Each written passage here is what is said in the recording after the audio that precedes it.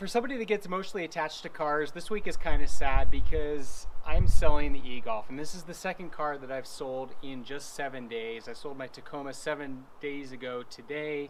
Now the e-Golf is going. I'm in the process of kind of revamping my garage, consolidating a little bit. So I've got some new plans in the works, um, and unfortunately, the e-Golf is going. Um, in this video, I want to talk about kind of my experience with e-Golf and whether I'd recommend owning this vehicle again? In short, the answer is absolutely yes. I have loved the e-Golf. It's been a great car for us. It's a ton of fun to drive. It's got some really good redeeming qualities. Unfortunately, it's just not the best car for us anymore. So I'm just going to go over real quick some of the things that are really great about the e-Golf and the reasons why I'm selling it. So the first thing that I've really liked about the e-Golf is that it's very stylish and it's an electric vehicle. That's something that's becoming a lot more common within the last year and there are a lot of cool vehicles on the horizon that are EVs. But when this first came out in 2015, you couldn't really say that. Most of the electric vehicles on the market, hybrid vehicles on the market, have a really quirky, weird style to them. And I like the fact that the e-Golf has a very clean, simple look to it. It's very sporty. It's a classy looking vehicle. Um, so you're getting all that with the EV package. I didn't want to get something that was really bubbly or weird looking. I did have a Chevy Volt, the first generation model, and it was a great car, but that was the one thing I didn't like about it is that it just felt like it looked a little bit odd. Wasn't crazy about that, and that's really what drew me to the e-Golf is that, you know, some people looking at this think it's a Golf R with the Golf R wheels. You know, it looks just like the GTI or the standard Golf model, which is a great looking vehicle. And so you're getting all of that with the EV package, and that's definitely a win. 2017 and newer e-Golfs have 125 mile EPA range. The older models have a range of 84 miles. For us, the 125 has been more than adequate. We've never had concerns in terms of range anxiety. We do only use the vehicle here in the local region, so the most that we're driving is maybe 30 miles one way and back. So that's kind of why we haven't had an issue with range. If we were wanting to do longer drives over the pass to another state or something, then that would become an issue, especially because this doesn't have the fast charge option.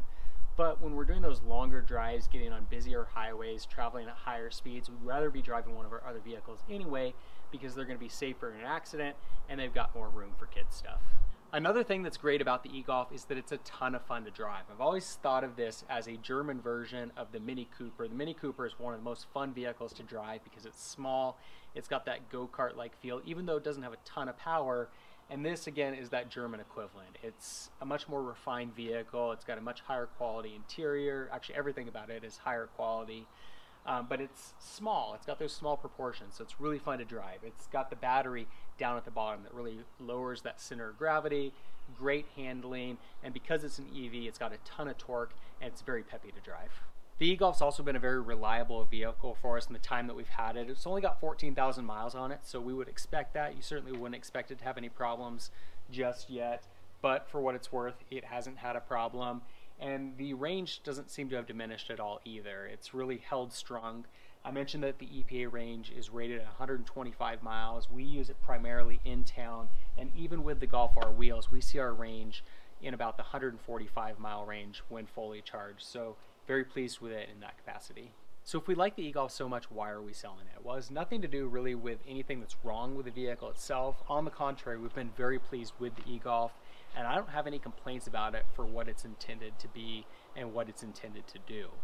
Uh, the real reason that we're selling it is because our life circumstances have changed. When we first bought it, we had uh, one infant child in a car seat that we were able to position in the middle of the back seat. Since then, we've had a second kid. They've both grown up quite a bit. Our oldest is four years old. Our youngest is about a year and a half. And we can't fit a double stroller in the back. It's gotten a lot tighter. When we first got it, we used this about 90% of the time when we were driving places. My wife would drive it all over with our child. Now she probably drives it about 10% of the time. So it spends a lot of time sitting, not a lot of time driving, and instead she's driving our gas guzzling 4Runner. So I uh, figured it doesn't really serve a purpose for our family anymore.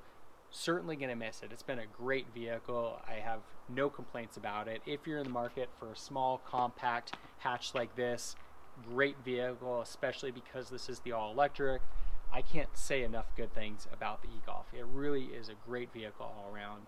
It's a bittersweet decision to sell it, but we feel like it'd be better to move on to something that gets good gas mileage or no gas, um, hopefully, but then also kind of suits the needs of our family a little bit better. So stay posted for more update on that. Uh, currently in the process of kind of deciding how to reconsolidate our garage. As I mentioned at the beginning, we just sold the Tacoma. We're sold this now. I'm also thinking about selling one of my other vehicles. So three of the four would be going. We actually already got one more. So more on that to come soon. And um, making other decisions on potentially one or two more additions. So we'll see on that. Um, love to get your guys' comments, feedback on the e-golf. If you have any comments or questions, leave those below as well, and I'd be happy to, you know, tell you what I can about the e-golf. For more car videos, be sure to subscribe. And in the meantime, thanks for watching.